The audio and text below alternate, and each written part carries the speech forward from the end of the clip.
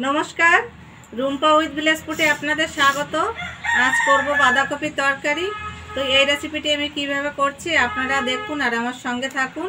তাহলে এখন আমি রেসিপিটি শুরু করব। এখানে একটা বাঁধাকপি নিয়েছি। এবার বাঁধাকপিটা ছাড়িয়ে নেব।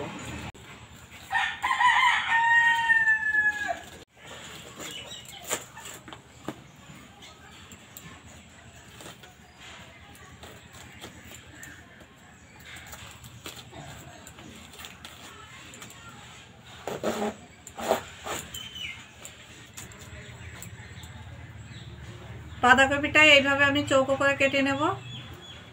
এই দেখুন। প্রত্যেকটা এইভাবে কেটে নেব।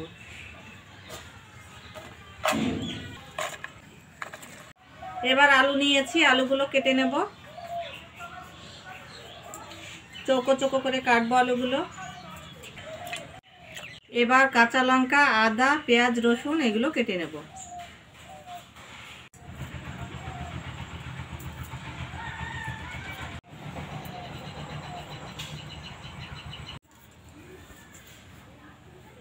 এবার কিছু ধনে পাতা নিয়েছি, এই পাতাগুলো কেটে নেব।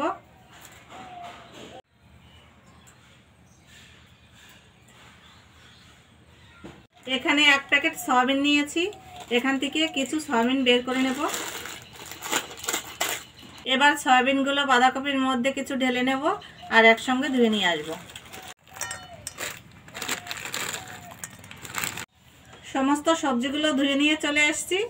এবার ধনে পাতাগুলো কুচো করে কেটে নেব।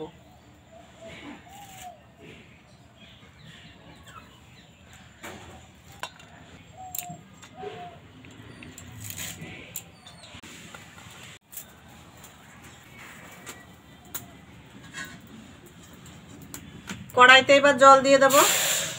লবণ দিয়ে দেবো দু চামচ। এক চামচ হলুদ গুঁড়ো। এবার সয়াবিন আর বাঁধাকপি দিয়ে দেব।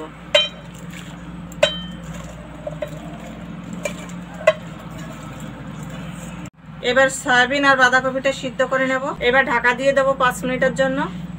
এদিকে সয়াবিন আর বাঁধাকপিটা সিদ্ধ হোক, ততক্ষণে আমি আদা রসুনটা বেটে নেব।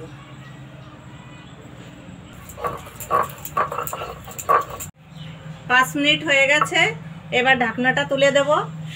আর আপনাদেরকে একটা কথা বলি, আজকে যে বাঁধাকপির তরকারিটা রান্না করছি, বিশেষ করে শীতের সময় মুড়ি দিয়ে খেতে যে এত ভালো লাগে, আর রুটি, পরোটা, লুচি, দারুণ লাগে এগুলো দেখেতে তো আপনারা এটা বাড়িতে ট্রাই করবেন, তাহলে বুঝতে পারবেন যে কতটা ভালো লাগছে। তাহলে রান্নাটা আপনারা দেখতে থাকুন আর আমার সঙ্গে থাকুন। আর আপনাদের যদি এই রেসিপিটি ভালো লাগে, তাহলে অবশ্যই একটা লাইক করবেন শেয়ার করবেন এবং কমেন্ট করবেন। আর যারা এখনও পর্যন্ত আমার চ্যানেলটি সাবস্ক্রাইব করেননি তারা অবশ্যই সাবস্ক্রাইব করে পাশে থাকা বেলাইকনটি প্রেস করবেন। তাহলে আমি রান্নাটা করতে থাকি, আপনারা দেখতে থাকুন। বাঁধাকপি আর সয়াবিনটা সিদ্ধ হয়ে গেছে, এবার নামিয়ে নেব। কড়াইটা গরম হয়ে গেছে, এবার তেলটা দিয়ে দেবো। তেলটা গরম হয়ে গেছে, এখন আলুগুলো ভেজে নেব। আর আজকে যে বাঁধাকপি তরকারিটা রান্না করছি, এই রান্নাটার মধ্যে আপনারা মটরশুঁটিও দিতে পারেন, কিন্তু আমি মটরশুঁটিটা পাইনি, তার জন্য আর দিচ্ছি না। এখন আলুটা ভেজে নেব।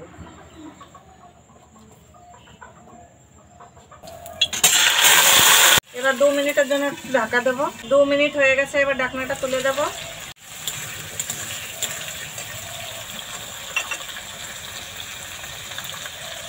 হাফ চামচ লবণ দেব।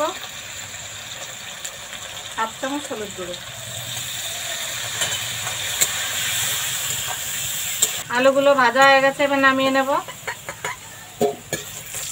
এবার সয়াবিনগুলো ভেজে নেব। সয়াবিনটা সিদ্ধ করার সময় হলুদ আর লবণ দিয়েছিলাম। তার জন্য আলাদা করে আর কিছুই দিলাম না। হয়ে গেছে ভাজা, এবার নামিয়ে নেব।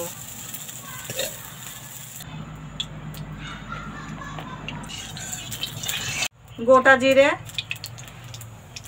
শুকনো লঙ্কা দুটো দুটো তেজপাতা, সামান্য একটি হিং, কাঁচা লঙ্কা চেরা, পেঁয়াজ কুচি, লবণ হলুদ। পেঁয়াজটা একটু ভেজে নিয়েছি। এবার আদা, রসুন বাটা দিয়ে দেবো। ধনে গুঁড়ো এক চামচ, জিরা গুঁড়ো এক চামচ, কাশ্মীরি লাল লঙ্কা এক চামচ। আলু আর সয়াবিন ভাজা দিয়ে দেবো। এবার জল দিয়ে দেবো। এবার দু মিনিটের জন্য একটু ঢাকা দেব। দু মিনিট হয়ে গেছে, এবার ঢাকনাটা তুলে দেব। এবার এক চামচ লবণ দিয়ে দেব। এবার বাঁধাকপি সিদ্ধ দিয়ে দেব। তরকারিটা নামানোর আগে ধনে পাতা কুচি দিয়ে দেবো।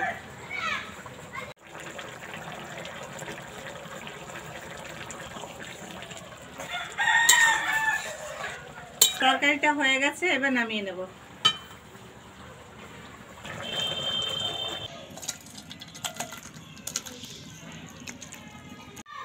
রান্নাটা হয়ে গেছে, আপনারা তো দেখলেন। আর আজকে মুড়ি নিয়েছি, এই দেখুন আপনারা, এই মুড়ি দিয়ে তরকারিটা কিন্তু দারুণ লাগে।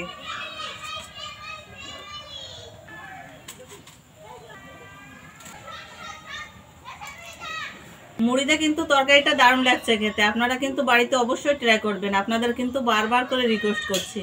তাহলেই বুঝতে পারবেন যে তরকারিটা কেমন লাগে। তাহলে এরকম নিত্য নতুন রেসিপি পেতে রুম্পা উইথ ফুড চ্যানেলটি আপনারা সাবস্ক্রাইব করবেন। দেখা হচ্ছে নেক্সট ভিডিওতে